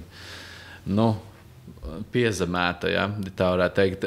Ne, vienīgā atšķirība bija tur, ka es airēju Indonēzijas arhipelāgā, kur uh, ir krast, gar krastiem ir tie nu, torņi, mo, mobilā tīklu. Tad tur kaut kur 4G, un uh, tur es varēju. Uh, un, īstenībā bija kaut kāda posma, kad man diezgan regulāri man bija tas internets, un es varēju gan video kaut kādus no laivas palaist. Piemēram, ir viens laivas, tad ir Board of Borders, uh, kuras uh, dzīvajā tiešraidē uh, raidīju, kā es šķērsoju ekvatoru, piemēram. Jā. Jā. Nu, tā, tāpēc, kad bija tur krasta tūmā, jā, un es vienkārši tur nu, tā. Un, un tā skatā viss kaut kas cits. Arī tur varēja bildes kaut kādas vienkārši uh, dalīties ar to visu piedzīvojumu. Un tad skaitā arī ar mājiniekiem uzturēt, tur nezinu, Vācijā sazināties vai kaut kā tā. tā kā tas, protams, ir bonus. Tev pirmajā reizē, kad jūs braucāt, um, jums bija visādas veselības problēmas, tad arī Ginta bija Ginta salauza rības, vai ne? Vienā brīdī tad tas bija tāds lūzuma punkts. Ka, kā, kā tev bija šoreiz, kad tu brauc viens pats? Kas bija tās lielākās grūtības, ar kurām tu saskāries, kad tu viens pats tagad brauci? Nu, bija tādi riskanti momenti ar veselību. Kaut kā bija daudz labāk nekā Atlantijas okeānā. Tas tiesa, jā. Un tam par pamatu ir tas ūdens, ēdiens un miegs. Jā. jā. Attiecīgi, man bija jauns ūdens atsāļotājs šajā posmā. Man bija par pārtiku bija padomāts daudz būtiskāk, un izgulēties varēja daudz labāk, jo man bija tas, ka es pa dienu airēju un naktīs guļu. Mm. Tas tā, kas bija tādi, izai... nu, tādi riskanti momenti, bija, bija protams, tur viens tas zvejas skuters, kas man gandrīz nonesa. Nu, vienkārši uzbraucis gandrīz virsū, tur nezinu, pa pusotru metru no laivas Jā. vai diviem metriem tur pagāja garām. Ja. Nu, tur bija vienkārši tā, ka vi, tā bija diena, diena, diena, gaišais laiks, Viņi man redzēja, tīri vizuāli, viņi man uztvēra uz radara. Viņi, ar mēs ar viņiem sarunājāmies par rāciju. Es saku, man viss ir, man neko nevajag. Viņi tur ies, ies, viss ok. Es saku, ieturiet distanci, ieturiet distanci. Un viņi tik brauc tuvāk un tuvāk. Yeah. Un uh, es saprotu, nu kā pārsvarā ir tā, ka vienkārši aiz ziņkārības viņi grib pastīties, kas tas ir. Jā. Bet nu, šī gadījumā man citu vārdu nav, ka vienkārši lohi. Jā, jo vienkārši piebrauc nu, tik tuvu, ka nu, jau tur bezmazliet nekontrolējot, jā, nu, tur, tur varēja baigās ziepes būt. Jā. Man laiva vienkārši no finiera. Tur tas kuģis man tur varētu nobliest vien, vienā setā. Tur bija nu, baigi tuvu. Tā bija tāda situācija. Tad īstenībā viena situācija, piemēram, arī uz salas bija tuvalu, kur man dengija vīrus, kuras saķēra, nu, kas nav malārija, bet dengija ir tā, ka nu, tu vienkārši tu jūties kā tev būtu gripa, nu, tev lauž kā kaulus, tev ir baigā temperatūra augstā, tu svīsti. Un vienkārši, te, nu, vienkārši ir sūdīgi. Nu, tā, tu, tev bija jāgaida, kamēr tu labi, man vienkārši bija, jā, man bija jādzer zāles, vienkārši un jāgaida, kad tas beigsies. Nu, jā. Nu, kā, tu, tu neko nevari citu izdarīt. Un, un tas bija tā, nu, labi, ka es nebiju okeānā arī nu, kaut kādā, nu, ka es vēl nebiju startējis. Jā, jo es to vīrusu tur dabūju no kaut kādiem modiem. Un, uh, un tad uh, uz, uz slimnīcu aizgāju un vienkārši pirmo reizi dzīvē es zaudēju samaņu. Un, kā, nu, nu, man, nekad tā, jā, jā, man nekad tā nebija bijis. Man bija tik slikti. Es tur tādā reģistratūrā tur kaut ko sāku tur runāt, tā, un nākamais Es viņiem prasu, vai viņiem ir ūdens, padzerties, yeah. un man baigi slāpst. Viņi saka, ka nav ūdens. Un pēc tam nākamais moments ir, ka es jūtu, ka kaut kas mani uh, ceļ no zemes augšā. Tā kā cilvēki kaut kādā ceļā man uz kaut kādām nestuvēm. Yeah. Tas ir nākamais moments. Pirmā doma, kas man ienāk galvā, ir, ūdeni es tagad dabūšu ļoti ātri. un, nu jā, viņi man tur pielika pie sistēmas, un tur Un tā, tas bija tāds uz salas tāds, saka, tāds atgadījums. Jā. Kas vēl bija tāds, bija, bija, bija tādā Indonēzijas rajonā, visā tur ļoti spēcīgi tie paisuma bēgumi. Un pat cik es esmu tuvu salām un kaut kādām klintīm, man ir jāankurojās. Tad man nācās ankuroties, un es biju noankurojies. Uh, Uh, nu, pirmkārt, es gribu pateikt to, ka okeāna airētāji neankurojās. Yeah. Nu, vienkārši viņi nu, nekad to nedara. Yeah. Viņi sāk vienā punktā, otrā punktā beidz. Viss, end of story. Nu, liek... Kā ir panākt, tad sanāk, ka tev, tu pamosties un tu skaties, kur tu esi aizpusts, ja? kur tu esi kā aiznests. Uh, nu, tā, tā kā okeāna, okeāna vidusdaļā, jā, es tur dreifēju vienkārši. Citreiz, nu, pārsvarā tās traumas ir pozitīvas man. Yeah. Uh, un, un uh, kaut kādos brīžos, kad ir kaut kāds pretvērš, citreiz man neaizpūšu atpakaļ. Lielākais, laikam, bija kaut kāds 100 km. Atpakaļ pa nakti, kamēr tu gulēji. Nevis pa nakti, bet tu jau tur sākās pa dienu kaut kāds bujāns. Vienkārši Jā. tur sākās. Es jau redzu, mākoņi nāk tur tāds vienkārši virsū. Jā. Neko vienkārši. Nu, Nu, tu īsti neko nevari darīt. Nu, tur viss griežās zeme debesīm riņķī un viss. Un uh, gaidi, kamēr tas beigsies ir iespējams likt peldošo ankuru, kas eh, samazina tavu negatīvo dreifu. Ja? Bet, ja ir kaut kāda trauma, tad tur arī nu, jāskatās baigi. Mm. Tas, tas ankurs ir tāds. Uh, tas iedomājas, kā izskatās izpletnes, piemēram. Ja? Uh. Un, tā kā tu ieliec tādu ūdenī, un tad viņš kā, piepildās pilns ar ūdeni, līdz ar to ir uh, ūdens pretestība, un tad viņu ne, nu, nevar aizvilkt yeah. uh, projām. Tālāk, uh, tad uh, uh, tā. Nu jā, un tad, un tad, kad es biju tajā Indonēzijas arhipelāgā, tur tie dziļumi tādi, ka tu vari ankuroties. Nu, attiecīgi, tur pieci metri. Tur, nezinu, es, es ļoti seklos arī ūdeņos, varēju ankuroties un varēju airēt, jo nu, man nav liela iegrima, man nav nekāds uh, ķīlis laivai. Man ir, nu, Attiecīgi, es varēju diezgan seklos ūdeņos. Tur, piemēram, skatos, ka tur ir uh, kartē parādīts, ka tur būs uh, pusotrs metrs. Es zinu, ka es tur varu arī airēt pāri. Un, kā, piemēram, burbuļlaivas tur nevarētu iet, jo viņiem vienkārši ķīlis ir dziļāk. Uh, tālāk, un tad es tur jā, es tur ankurojos visu kaut kur. Katru nu, nakti man bija jāmeklē vai nu ankuroties, vai nu boja kaut kāda, vai kaut kas tāds. Nu, tā. Un tad uh, naktī, tas bija divas nedēļas pirms finiša, tad Uh, vienkārši naktī bija tāda traume, uh, dēļ paisuma bēguma, kas sakrita ar, kas sakrita ar vēja virzienu, līdz ar to gan vējš, vējš kā viļņus rada, tad tas, tā laiva cilājās, to ankuru tur ļurkā, rausta, tur, un viss, un tur baigais spēks ir. Un tas vienkārši es, es ne- nebiju iedomājies, ka kaut kas tāds varētu notikt. Un ir tā tad ir ķēde, uh, nu, ir virve no laivas, tad ir ķēde kaut kāda tur. Nu, Pārsvarā jachtām ir uh, ķēdes, bet man ir virve, jo nu, man nav tik gara ķēde. Jā. Ā, Tā tad ķēde tur kaut kāda divi metri, tad ir tāds metāla stienis, un tad ir nu, tas uh, nezinu, tāds mēnesis formas, tāds uh, ankurs. Un tas stienis ir apmēram nu, čītik biezs. Jā. Nu, tā kā šī ir esens uh, metāla stienis. Un tad naktī es, mm, man sāk pīkstēt tas ankura zvans. Nu, tāds speciāli tur GPS tu ie- iestati, ka tu, piemēram, ja tu aizdreifē 50 metrus no esošās koordinātēm, tad tev sākās kaut kāds zvans tur sāk skanēt. Jā. Attiecīgi, nu, ja tu aizdreifē 50 metrus, tas nozīmē, ka nu, vai nu ankuru velk, vai nu kaut kas ir noticis. Un, tur, nezinu, virve pārauta vai kaut kas tāds. Jā.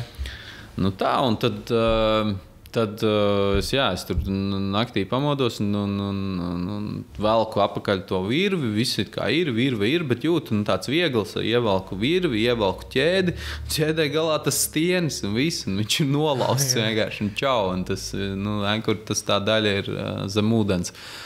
Un tad momentā man tur nes kaut kur nekontrolēti, kā saka, un strauma nenormāli spēcīga. un vienkārši eh, Es tur neko nevarēju īsti izdarīt. Bet nu, skaidrs ir tas, piemēram, ja ir tikai strauma, viņa tev klintīm nevar uznest virsū. Mm -hmm. Jo strauma viņa apies riņ, riņķī akmeņiem. Vējš var uznest virsū akmeņiem, jo viņš ir nu, kā eh, pa ūdens virsmu iet. Ja. Strauma eh, viņa nevar iesist tevi klintī.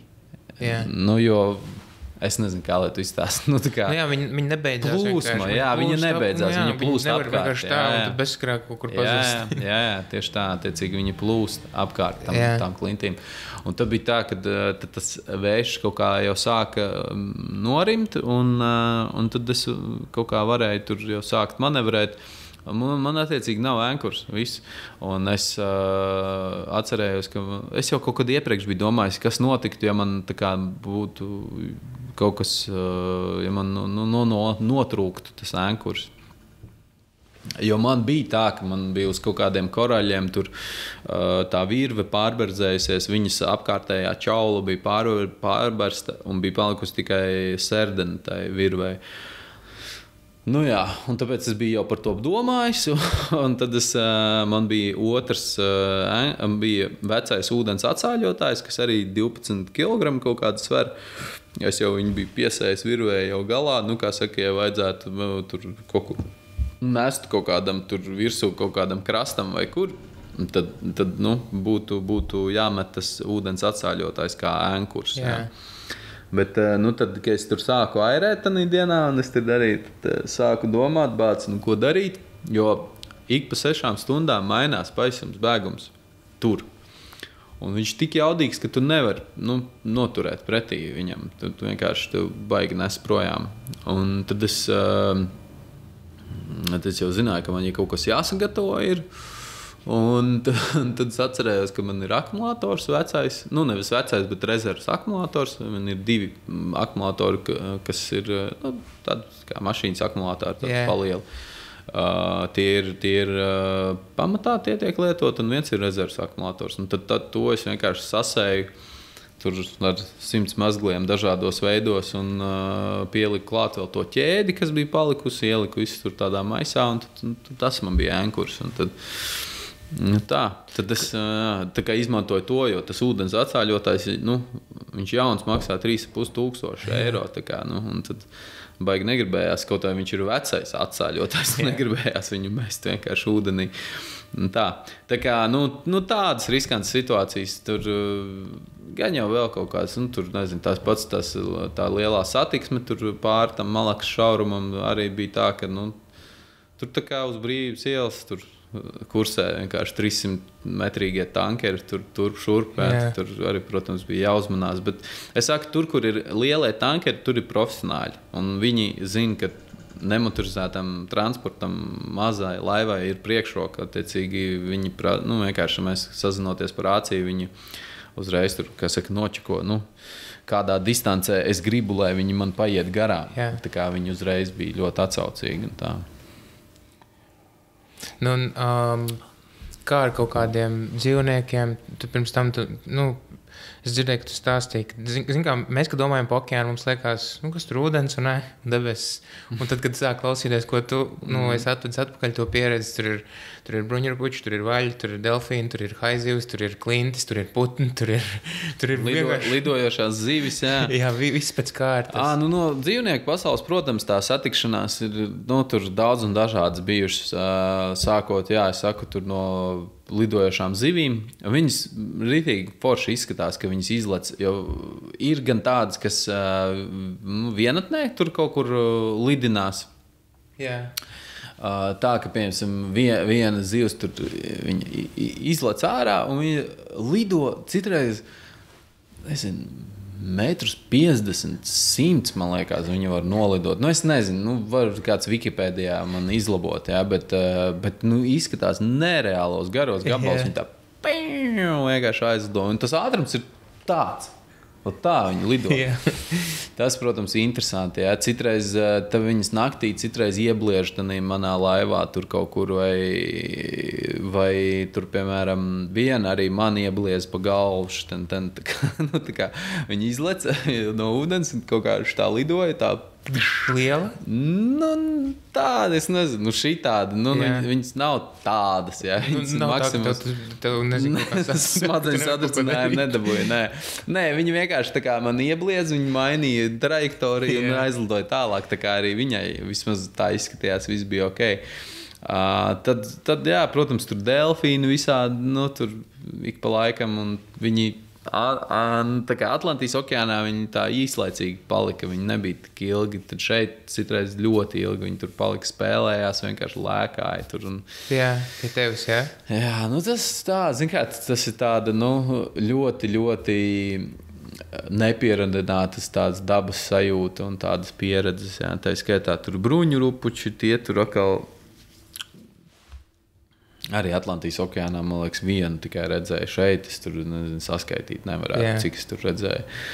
Uh, Vaļi redzēju, nebija tā, ka baigi lec ārā. Redzēju, tik, ka, nu, piemēram, sekoja viens kaut kādu 40 minūtes apmēram. Tur arī viņš bija ziņkārīgs. Yeah. Man liekas, interesanti, kas tas tāds pa objektu tur peld.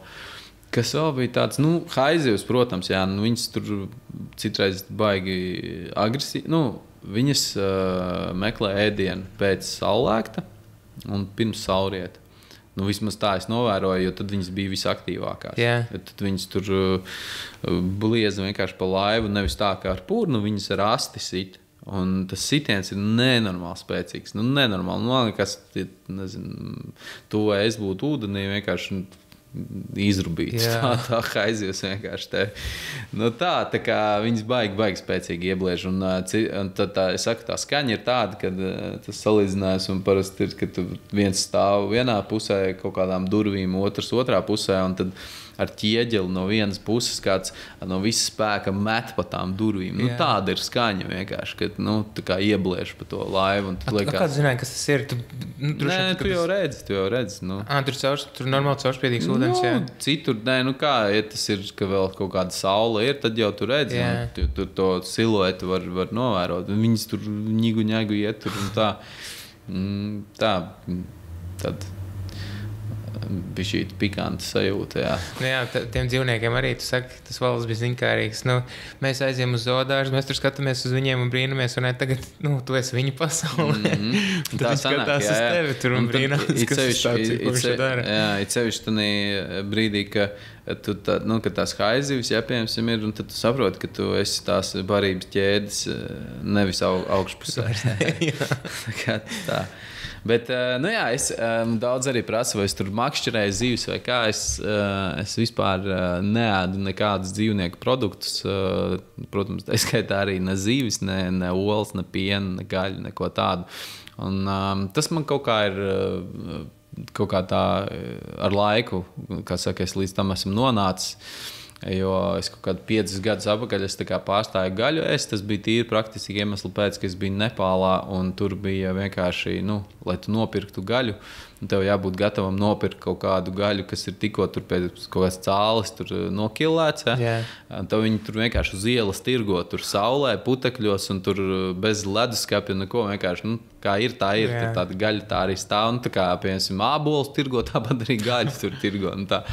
Un tad uh, es sapratu, ka es kaut kā negribu, kā man nevajag to. Tad es kaut kādu pusgadu biju bez tās gaļas izticis, atbraucu Latviju, tad nemaz kaut kā tā arī neatsāku viņu ēst.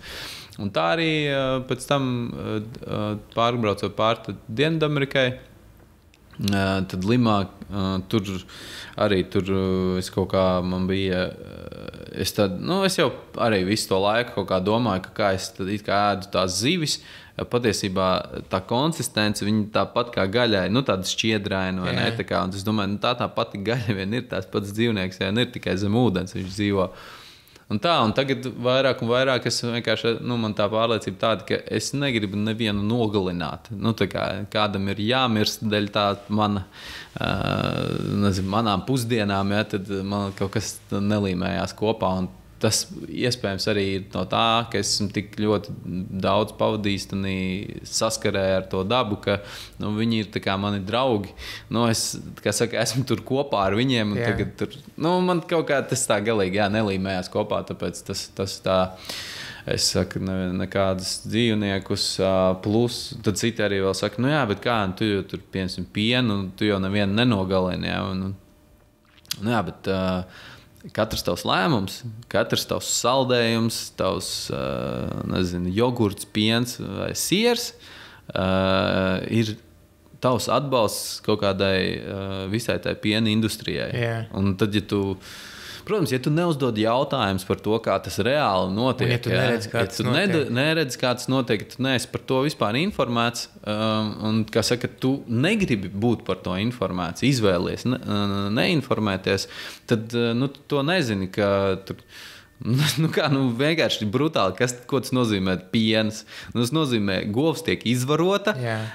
Pēc, tad, kad viņai piedzimst teliņš, ja tas teliņš ir puika, viņš tiek nogalināts, jo no tā nav nekāda jēga. Yeah. Bet, me, ja tā ir meitiņa, viņa tiek saglabāta, bet tiek atņemta no tās mātes.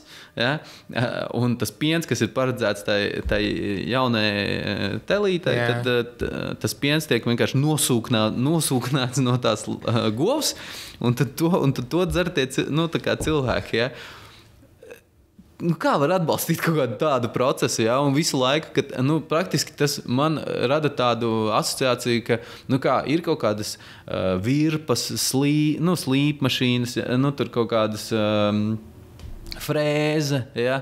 nu, tā, galdniecības instrumenti kaut Jā. kādi, kurus cilvēki izmanto darbam, ja? lai izgatavotu galdu, durvis, vēl kaut kādu. Bet te mēs, izgat, nu, mēs izmantojam piena industrijā kaut kādus dzīvniekus, dzīves būtnes, kā mašīnas. Ja? Vienkārši rekur, kā mēs viņu varam um, nu, uzturēt pēc iespējas mazāku paiku viņai dodot. Ja? Vai, tur, vai tur kaut kādas lobarības, kaut kādas antibiotikas viņai pumpējot iekšā. Nu, vispār, kad tu, kā, ja tu aizdomājies Jā. par to, nu, es nevaru atbalstīt to vienkārši. Nu, es, es, es to negribu atbalstīt. Nu, tāpēc man tas, mans tas lēmums ir tāds, ka es. Nu, kā, jā. un cilvēki citreiz arī viņi tā, nu, parasti kaut kāda paziņas arī viņi saka, nu jā, mēs tur varētu tur gaļu varbūt nēst, vai tur zīves nēst. Tā. Bet sieru nē, sieru siers ir, sieram ir jāpaliek, man ir atkarība no siera un tādā garā. Un tad, eh, kad tu atkal sāc uh, interesēties par to, kāpēc tas tā ir, ja, kad uh, ir uh, pienā tas keisīns, kas ir attiecīgi kazīns, jā, kazīns, jā, jā. Nezinu, Latvijas, kas, kas izveido to saikni. Uh, ka patiesībā nu, ka, kāpēc tas piens ir tā, tāds taukains? Tāpēc, ka tas telīte ir, tas teliņš ir, ir um, vārks, jā, no, viņš tikko piedzimis, viņam, lai viņu uzbarotu, lai viņa imunitāti nostiprinātu, viņam jādzer tas piens. Traknais, jā. jā. Lai daba jau tā ir paredzējusi, lai tas teliņš ietu pie tās govs un Jā. ņemtu to pienu. Tāpēc ir tas keisings, un tāpēc, kas izveido nu, to nu, atkarību, to, ka, ka viņam gribās iet to, to pienu dzert. Jā. Un, un, un, un, un, un tas pats links, tas pat, tā pati saikne izveidojās cilvēkam ar to atkarību pēc tā, pēc tā siera. Jo, teiksim, tā, ja kāds klausās un tādu nu, muļķības, pa, pamēģiniet neēst eh, tur 30 dienas sieru, ja, kā, vai, vai jums būs vēl joprojām tāda pati atkarība Jā. kā šobrīd, ja, ka jūs tur domājat.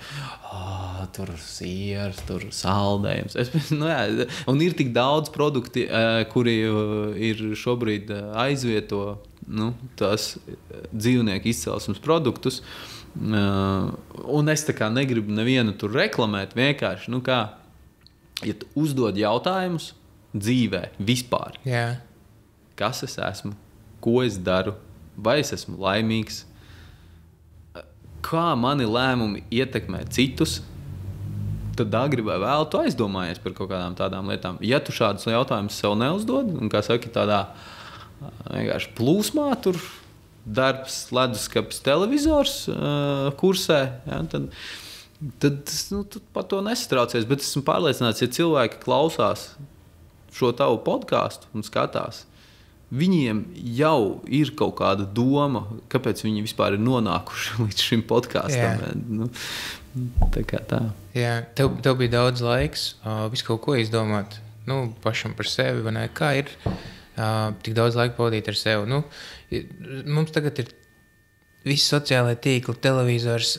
Nav iespējams cilvēkam uh, būt garlaicībā. Mm -hmm. Kādreiz pirms 20, 30 gadiem, kad nebija telefons, televizors tur vai visas tās lietas, nu, es arī esmu um, nu, tādu vecumu, un tur uh, man ir pār pa 30. Es arī vēl esmu dzīvojis tajā laikā, kad es eju sist ar, ar puļķi pa akmeņiem vai kaut ko tādu. bet Tagad, Kritikas fun. jā, bet, bet tagad, tagad uh, nu, mazs bērns vienkārši spēja telefonu. Protams, ja mamma tajā laikā būtu bijis YouTube, es arī domātu, nu, kas tu galīgi to darīt. Nav ko. Bet kā ir būt prom no tā visa, no visādām, tur, visādiem distrakšaniem, mm. no, no cilvēkiem pie dabas? Es teiktu, rītīgi viegli ir būt. Man uh, būt šobrīd sabiedrībā un uh, uz sauszemes ir. uh, Man ir problēmas ar laika menedžmentu, man ir problēmas ar disciplīnu, man ir visi tādi paši izaicinājumi kā visiem cilvēkiem, ka tev ir. Tu, jo es, nu, varbūt tāpēc, ka man ir bijis arī kaut kāds izsalkums, ja, pēc, pēc piemēram, diezgan, diezgan konkrēti pēc kultūras, ja, Jā. pēc dzīvēm koncertiem, pēc teātra, pēc, uh, un to es visu tagad ar abām rokām mēģinu, saka, dabūt Jā. sev iekšā. Plus, protams, satikt uh, cilvēkus, tos, kas, ma- ar kuriem es nu, vēlos pavadīt kaut kādu savu laiku kopā, un kuriem es varu, vēlos veltīt kaut kādu savu laiku un enerģiju. Un, uh, un tas šobrīd ir tā, ka uz visām pusēm. Ja? Bet tas, ko tu jautāji par to, kā, kā okeānā, tas ir okeānā, tas ir ļoti viegli. Es teiktu, ka tas ir ļoti viegli. Tev nav tieši tā, nav nekāda uzmanības novēršanas momenti. Ja? Tev vienkārši ir kaut kāda tā dienas tas ritms, kaut kāds. Tu, attiecīgi, nu, es esmu tā iegājies, ka man tur tas maršruts praktiski pa ekvatoru iet. Nu, Zem ekvatora, bet ļoti arī ilgu laiku uz ekvatora, ka man ir 12 stundas diennaktī ir gaišs un 12 ir tumšs. Un tad vienkārši tās gaismas stundas maksimāli tiek izmantotas. Jā, airējot uz laiku. Jā. Jā, un, un ā, organisms pamostās.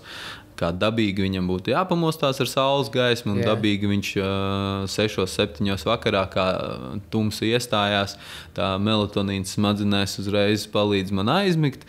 Viss ļoti dabiski notiek, jo nav uh, mākslīgais apgaismojums nekāds. Un, un, Tā kā eh, ļoti tāds dabīgs process. Tā skaitā arī bez, bez tās komunikācijas, bez kaut kādām tām uh, uzmanības novēršanas, kaut kādām lietām. Līdz ar to es teiktu, ir ļoti viegli ie- ievērot to, to mm, ikdienas to ritmu. Jā, jo, teiksim, uh, tu, tu pamosties, tur paiet brokastis, tā, nu, kas ir nākamais uzdevums? Airēt. Jā. Kurš par to ir atbildīgs? Es, Jā. Nu kā, cik vienkārši vēl varētu no... Tas, tev bija video, tas stāstīja, tur darbs no mājām, tu, esi nu, laivas priekškalā. Jā, jā. Piecelies, Jā. 20 minūtes, tu esi darbā. Jā, viena tad- minūte. Ah, nu jā, Nē, nu 20 minūtes, lai sagatavotos, Jā, kad vajag jā, brokastis jā, jā. un, Nē, un sāc. Jā, tāpēc e, es saku, un es esmu ļoti tāds, uh, kur, nu, addictive personality. Nu, tas būtu angliski, ja, nu, tad, tad latviešu tas būtu atkarīga personība, kurai ir kaut kādas atkarību izraisošas. Mm, Īpašības. Jā. Nu, tādā ziņā, ka, nu, piemēram, ja es sāku, ja es sāku airēt, tad es nu, kā, vienkārši to varu darīt ilgi. Ilgi, nu, tas ir, tā ir rutīna, bet tev, mm. tev tas netraucē. Jā, man Nu. tieši, tieši tā. Man tieši patīk, kad iestājās tas ritms, kad, eh, ka mm, eh, rutīna eh, izklausās mazliet ar tādu negatīvu pieskaņu, bet dienas ritms, mm, Ritms. ir tieši tas pats. Jā. Jā. Bet vienkārši viņš izklausās tā, ka ir kaut kas ritmiski notiek. Jā. Jā. Uh, un, un, un, un man tas bija tiešām tā vienkārši, jo to, to, to vismaz man tā liekas ļoti vienkārši izdarīt tur. Jo tur nav nekāda tur YouTube un viss Jā. kaut kas pārējais. Un, Nezinu, nu, jebkas, jebkas tieši tas pats. Labi, man nav televizors, bet nu, tāpat viss tagad internetā var visu saturu noskatīties. Un visādas lietas, kur varbūt savu laiku iztērē vienkārši, ka angliski ir precīzi apzīmējums. Tas your spend your time. Tā kā tu iztērē savu laiku. Un tas, un tas nu, teiksim, tādas tādas uh, lietas, par kurām uh, tieši tā okeānā tu vari padomāt, tu vari arī nedomāt. Un, uh, tad tas laika novērtējums noteikti ir viens no tām lietām, kas ir vairāk un vairāk. Nu, tā izkristalizējies, ka tā ir nu, baigā vērtība, baigais tāds resurs. Jā. Tagad arī mēs, es nezinu, cik tagad ir pūkstens, bet uh, mēs tagad kaut kādu laiku pavadām, un mēs viņu nekad nedabūsim atpakaļ. Tas ir tas, kur mēs esam ieinvestējuši savu laiku, savu resursu. Un tad, ja tu tā skaties uz dzīvi, vai uz to laiku, kas tev ir atvēlēts uz šīs planētas, tad, uh, tad tu sāc izvēlēt, nu, tad pieņem lēmumus kaut kādus, kur tu gribi to laiku nu, pavadīt. Un Tā. Mm. Ko vēl te okeāns iemācīja? Vispār šī pieredze mm. no, no nu, būdams tajā piedzīvojumā, kā tu pats mainījies par šiem visiem gadiem, kā tev pašam liekas? Man pašam liekas, ka es neesmu galīgi mainījies. Nopietni. Nu, protams, da, daļai, daļai humors. Nu, tāpēc, ka cilvēkiem noteikti liktos, nu, kā tā var nemainīties. Ja? Jā. Bet ir tā, ka mana pārliecība ir tāda, ka visas tās vērtības, kuras ir tevī šobrīd, viņas ir tevī bijušas kopš jau tavas dzimšanas. Vienkārši tu viņas neesi pamanījis, vai tu speciāli viņas neesi gribējis pamanīt, vai tev ir bail bijis viņas pamanīt un viņas izkopt. Tā skaitā arī man. Visas tās lietas, kas man šobrīd ir, tās šķautnes kaut kādas, ja, viņas Jā. visu laiku ir manī bijušas. Varbūt tās, tā, nu, iedomājies, ja tev ir baļķis, un tev ir jānonāk līdz kaut kādai sērdei. Un tā sērde ir daudz šķautņaina, varbūt kaut kāda, nezinu, nu, tā kā iedomājas, iedos, iedomāsimies kaut kāda, nezinu, tur uh, sniegpārsliņas formā. Ja? Bet sākumā tev ir baļķis, Jā. un tur ir miza, un tur ir daudz vis kaut kā apkārt. Apaļa, kurš tev ir jā, jānoslīpē. Un tad tas, tad tas okeāns, un tas laiks, kad tu esi ar sevi, ar tām lietām, un tādā vidē, kurā tu vislabāk jūties, tu vari vien vairāk un vairāk sev atgādini par to. Šī ir tā lieta, ko es gribu darīt. Jā. Un, un, un tieši tāpat ir ar tām lietām, ka tu aizvirzies no tā, ko tu gribi darīt, kas tev novērš to uzmanību, uh, kur tu nepavadi slīpējot tās savas šķautnes. Un, uh, un tāpēc es, es tā domāju, ka viss tas, kas ir šobrīd manī, tas pats manī bijis pirms 10 un 20 gadiem. Uh, vienkārši es viņu nesu saka, tā, uzspicējis, noslīpējis, attīrījis. Un tas šobrīd ir varbūt vairāk izteikti tādā, saka, tieši nu, tāds izteiktākais ir tas laika novērtējums. Un, un kaut kāda tā, nu, tādas um, cilvēcības novērtējums kaut kā. Nu, tas pats, nezinu, respektēt tos, uh, kas ir ap mums, uh, tā skaitā cilvēkus, dzīvniekus, vidi. Jā, un, nu, tā. Mm, citi saka, nu, kas tās padziņām. To es tāpat sapratu. Ar šauļiem, uz šauļiem braucu ar Jā. autobusu, arī sapratu, cik svarīgs ir laiks. Citam vajag vairēt okeānu, citam vajag aizbraukt līdz Bolderājai un pastīties jūrā, un viņš to sapratīs. Kā dažādi cilvēki, dažādi paņēmieni. Nu, man vienkārši ir tā sajūta, ka pavadot ilgāku laiku tādā dabā un tādā vidē, kur ir mana tā komforta zona. Jā.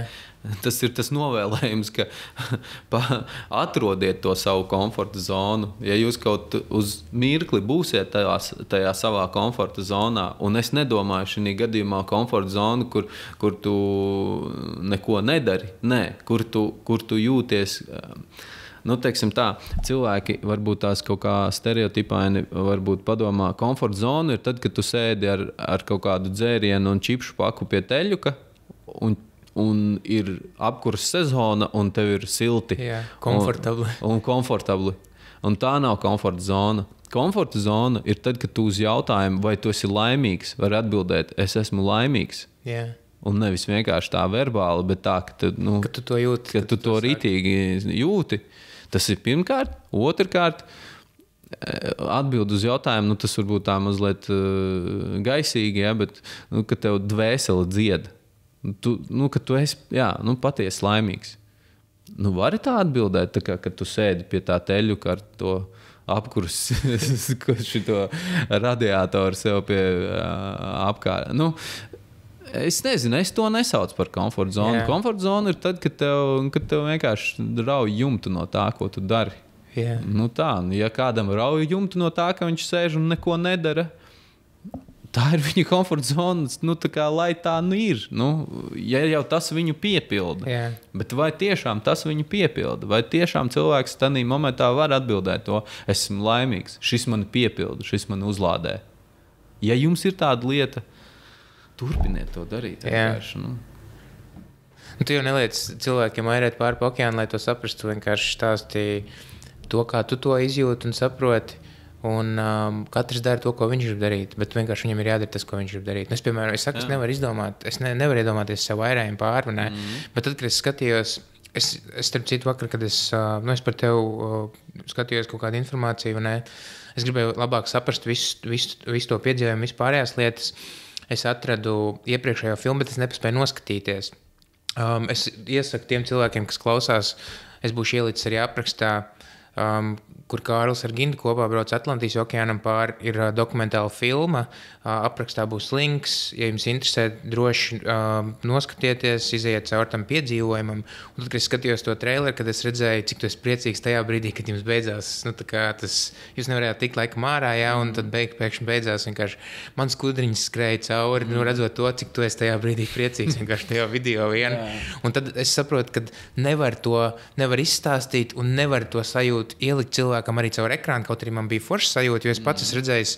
Nu, kalnus, un es gribu nofotografēt, un aizsūtīt tur vecākiem, jā. lai viņi arī redz, bet mm. tu nofotografē, un ne pēc kā neizskatās. Tu nevari iedot to. Nu, jā, nu, tur jau ir tas uh, moments, tāpēc jau arī ir tas, ko es teicu par to grāmatu un to alpinistu. Jā. Tu vari izlasīt tās grāmatas, bet tad, kad tu dzīvē satiec viņa to stāstu, tad uh, tas ir uh, nu, tas vienkārši savādāk uz tevi iedarbojās. Jā. Tā ir skaitā, ka tu stāvi tad, tad kaut kādas ielas tur. Uh, Pakājai vai, uh, vai kaut kāda kalna galā, ja, tad uh, nu, tu to visu ieelpo jā, ar katru šūnu sajūtu. Nu, tas, ko tu vari tajā ekrānā ietvert, jā, nu, tu vari mēģināt ar to dalīties, bet, protams, tās sajūtas ir. Nu, Varbūt arī cilvēki, to, kas ir kaut kur arī ceļojuši, viņi jau to sapratīs, ka ieraugot to bildi, ka tur tā panorāma pavarās pilnīgi vēl jaudīgāk. Un, un, un tā, tā kā...